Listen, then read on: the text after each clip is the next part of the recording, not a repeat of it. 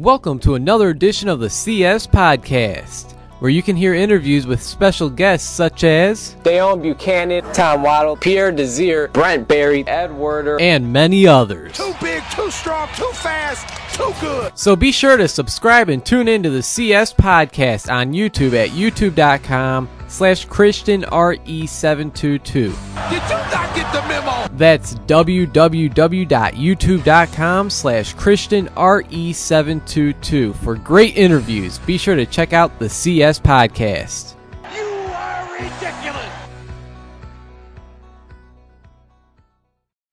Welcome back to the CS Podcast. I'm your host, Chris Shanafelt, and I'm now joined by Southern Illinois Salukis running back and 2015 NFL draft prospect, Malcolm Agnew. I appreciate you joining the show, Malcolm. How's it going, man? Going pretty well. Thanks for having me, my man. Hey, the pleasure's all mine. So we're going to be talking about your college football career, and I want to I want to start off by throwing out the fact that you actually began your college football career at Oregon State. You played for the Beavers for two years, in which you put up nearly 700 yards and six touchdowns. And it was actually uh, during your very first college football game as a true freshman against Sacramento State. You ran for 223 yards and three touchdowns. I gotta say that's one hell of a way to start off your uh, college football career, man. I, I gotta think that's just one of those games that you're always gonna remember. Am I wrong? Uh, yes, I will never forget that game. That was my very first college game. I still remember every single run from that game. You know, I wish we could have won the game back in that time, so I didn't enjoy it as much as I probably could have or should have, but no, I'll never forget that experience. Now, now, be honest. You know, this is your very first college football game. Did you expect to put up those type of numbers? I mean, over 200 yards, three uh, three touchdowns. Like you said, you guys lost the game, but did, did you expect to have that type of personal uh, performance? No, I definitely did not expect to have 223 yards and three touchdowns in my first game, let alone getting 33 carries. Like, that definitely took me by surprise, and I was extremely tired after the fact. But, like, it was a blast, man. I'll never forget that day. After two years of being at Oregon State, you decided to transfer to little old Southern Illinois, where your brother Ray was playing as the uh, team's fullback. I got to ask you, why did you decide to leave Oregon State, and how much of an impact did your brother have on you moving to uh, SIU? Well, when I decided to transfer, first off, there was, you know, nowhere I was going to go besides SIU when I decided to transfer down a level because my brother was there. So as soon as I decided to transfer down a level, it was like, okay, I'm going to go to SIU with my brother. You know, I went to games all my life and, you know, saw the great teams of like 2007, 2008 play with Nick Hill and Leonard Warren, who's actually my running back coach now, which is crazy. And, you know, just seeing Ray play, there was no doubt I was going to go to uh, Southern Illinois. But I mean, as far as me tr- deciding to transfer, um, honestly, it was just in God's plans.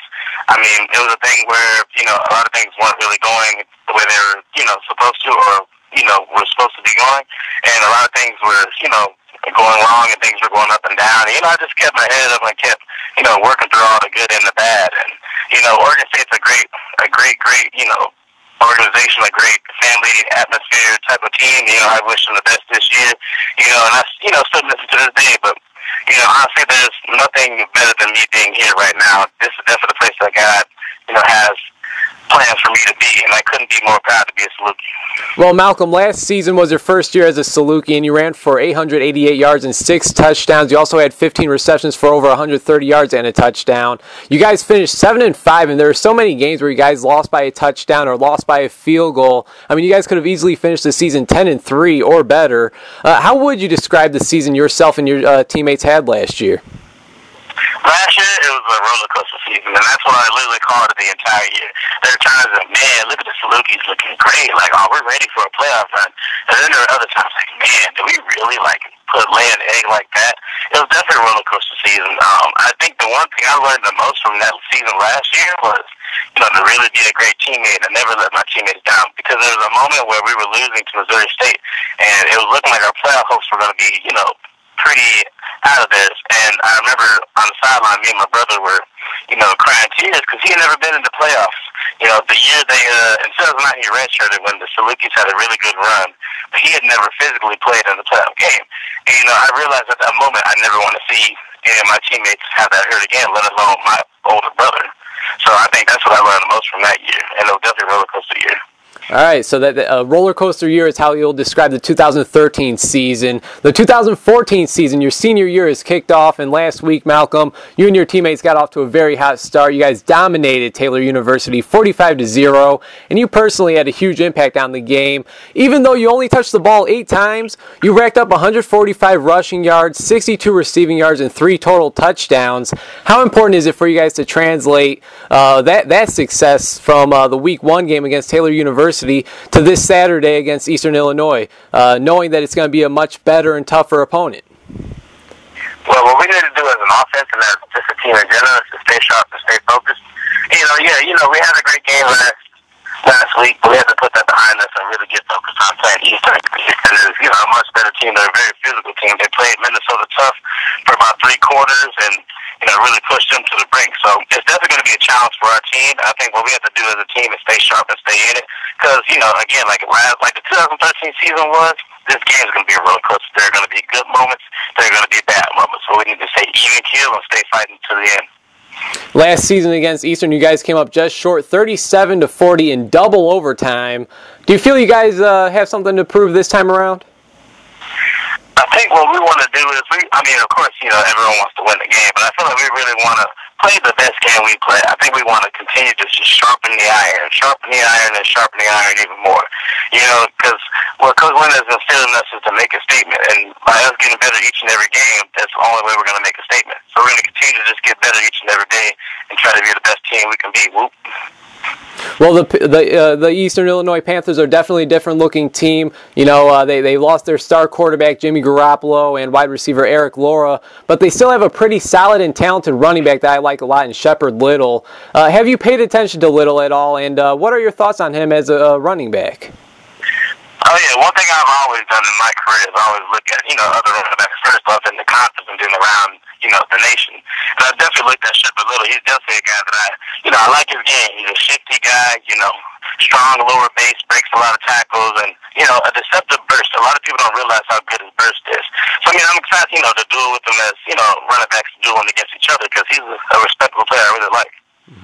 Chris Shanafelt talking with Southern Illinois Salukis running back Malcolm Agnew. And Malcolm, whether it's from just this past week against Taylor University or all the way back uh, uh, as a freshman at Oregon State, what would you say is the biggest or most memorable, memorable play of your college football career thus far? The biggest and most memorable play of my college football career? That's a good question, Chris. Good question. let me think. I know there's so uh, many of them, man. I know there's so many. that's a tough question. Um, uh, I would probably honestly have to say that the most memorable play I had was it was honestly with my brother against uh, Northern Iowa. Um, it was in overtime. It was the second play of overtime.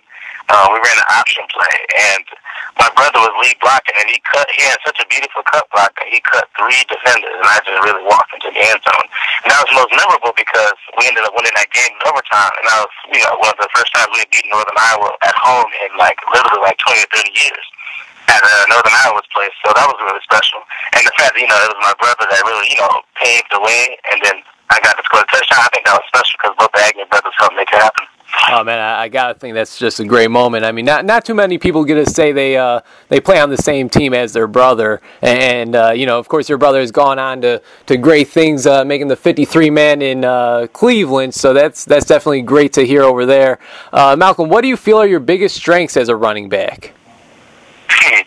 My biggest strength. Oh, no doubt. I would always say my burst is my biggest strength. Mm-hmm. I feel like that's one thing I've always been known for that will always continue to be, you know, a special part of my game is my burst. And that's something I take pride in. That's something I always continue to work on is my burst, burst, burst. The ability to get through the hole and make one cut and, you know, get to the second level. I think that's, you know, one thing that could help me separate myself from other running backs is my special burst. Is there one specific part of your game that you spent working on to get better at during the off season?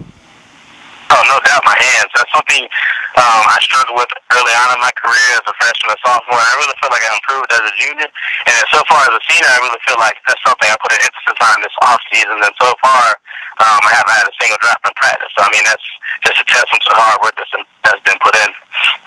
Chris Shanafelt talking with Southern Illinois Salukis running back Malcolm Agnew. And Malcolm, just a few more questions, then I'll let you go. I really do appreciate your time, man. Uh, we mentioned the big game against Taylor University week one. You had over 200 uh, total yards.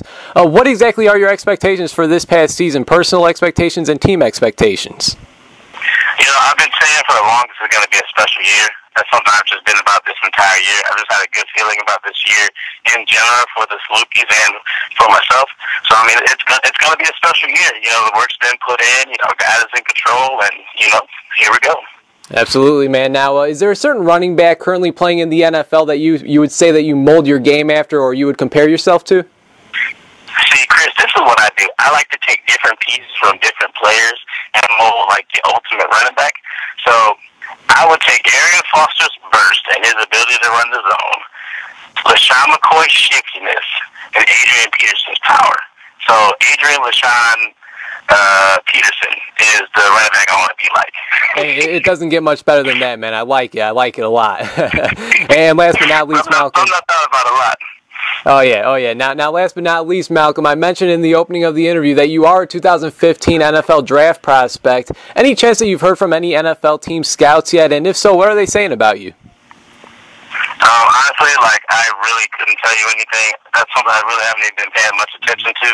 You know, my dad, you know, who played in the NFL, he told me like, you know, Malcolm, stay stay focused on the season. You know, your goal is to win the championship.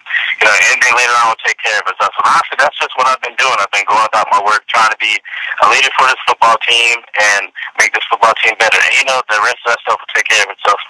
All right, you're, you're absolutely right about that. Malcolm, we've been connected through Twitter for quite a while now. I got to say, it's, it was a pleasure to finally speak with you, man. I'm wishing you nothing but the best this season. Uh, before I let you go, is there anything you'd like to say to our listeners? God bless and continue to work hard at whatever you do. There's always people competing out there for that same job you want or the same thing you want. Make sure you outwork working and everything. Sounds good. Malcolm, once again, congrats on a great start to the season. And uh, hopefully we can do this again later on down the line. All right, man? Sounds good. You take care, Chris. All right, take care, man. Thanks for tuning into the CS Podcast. I hope you enjoyed. Please check out all of my past interviews at www.youtube.com slash christianre722. Once again, that's www.youtube.com slash christianre722. And be sure to follow me on Twitter at Chris Shanafelt.